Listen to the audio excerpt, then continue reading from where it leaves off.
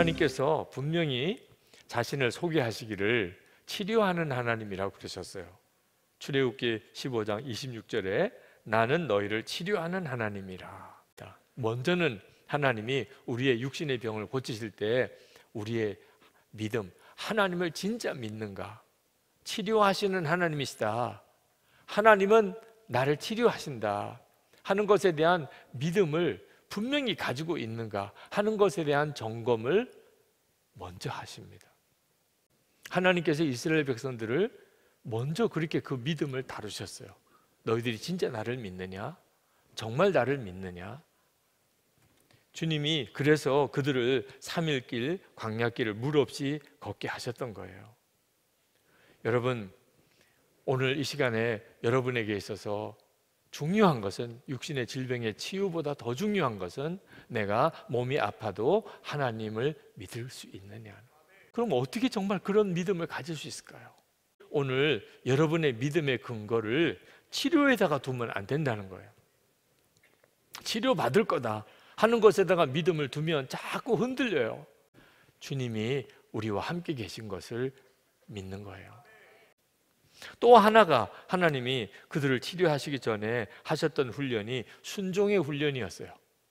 실제로 내가 치료하는 하나님이다 라고 말씀하시기 전에 하나님이 이렇게 말씀하십니다. 26절 앞부분에 너희가 너희 하나님 나 여호와의 말을 들어 순종하고 내가 보기에 의를 행하며 내 계명에 귀를 기울이며 내 모든 규례를 지키면 내가 애굽 사람에게 내린 모든 질병 중 하나도 너에게 내리지 아니하리니 나는 너희를 치료하는 여호와임이라.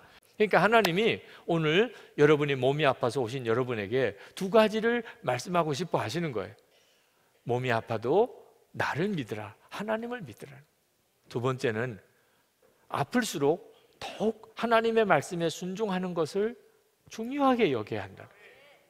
하나님이 치료하신 하나님이신 것을 여러분이 실제로 경험하려면 순종의 삶을 결단해야 한다는 거예요.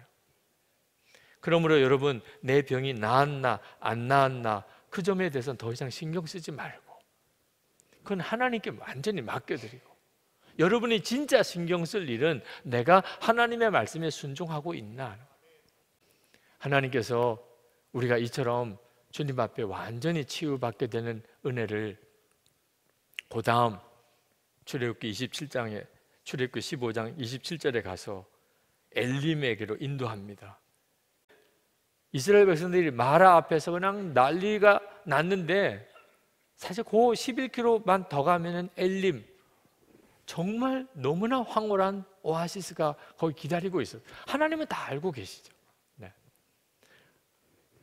그러니까 하나님께 완전히 순종하는 길이 답이라는 거예요. 하나님께 진짜 완전히 맡기는 거예요. 지금은 정말 내가 꿀딱 죽을 것 같은데 마라에서 끝나지 않는다는 거예요. 하나님은 내 앞에 엘림을 다 보고 계시다는 거예요. 오늘도 주님은 여러분에게 그리 하실 줄 믿습니다. 주님은 오늘 이 시간에 우리를 그냥 부르신 게 아닙니다. 너무나 놀라운 십자가의 보혈의 은혜 가운데 우리를 부르셨어요.